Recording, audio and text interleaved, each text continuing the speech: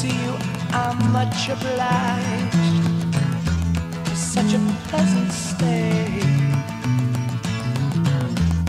But now it's time for me to go.